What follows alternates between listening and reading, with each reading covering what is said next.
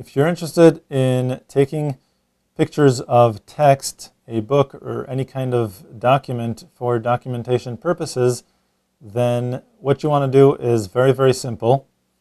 You can use the macro mode if you are close to subjects, but this basically automates the camera.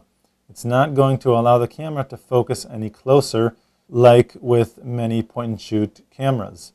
So basically I just keep it on the program mode. Your lens will have, if you turn the focus, will show you in the top how close to the subject you can be before it can't focus anymore. So with this particular lens, I have a macro section, and it is really completely irrelevant to what mode I'm in.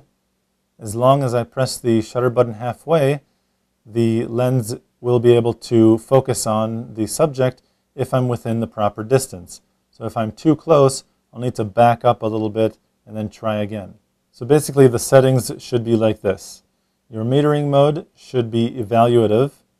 If it's not, go ahead and press the up navigation button or the metering mode button right here and choose the top evaluative metering option. Press set. Your ISO really depends on the lighting condition. If you're indoors and let's say you're in a very low light situation like a library, you need to take a photograph of a book to make a copy, then you're probably going to want to use a higher ISO. You probably don't want to use the flash because if you're too close to the subject, then the lens will just get in the way and half of the picture will be dark. So try and avoid using the flash with copy scenes. Your white balance should be set according to the type of light being used. Again, we'll use the library analogy. Usually in libraries, there are tungsten lights. So what you would want to do is press the white balance button and move over to tungsten. This will get you a more accurate color. If it's just text, then it's really not the color that you're interested in, and this is completely irrelevant. But if you are taking a picture of a photograph where colors are important, then you're going to want to set the white balance. Go ahead and press set. And for the ISO, as I mentioned before, go ahead and press the ISO button, which is up here. You can press that with your index finger and use the up and down navigation buttons to increase the ISO. Press set. By increasing the ISO to 800 or 1600, it allows you a faster shutter speed because the camera will be more sensitive to the available light.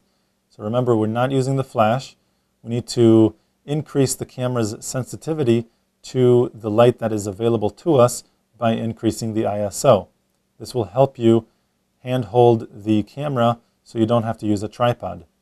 If you are using a tripod, then the ISO is irrelevant and you can go with 100 to maintain a better image quality. 800 may improve the camera sensitivity, but it also increases the amount of grain in your picture. So our ISO has increased. We're not using the flash. We're set to the program mode so we can control the flash. The white balance is set accordingly.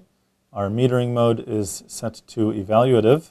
Basically, that's it. There's really no such thing as a macro mode that will help you focus closer.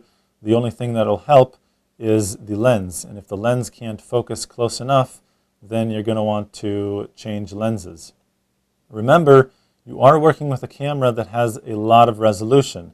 So you can take the picture and it may not seem like it's filling up the entire frame, but again, this is for documentation purposes, so you can crop the image later on and still maintain enough resolution for a good print.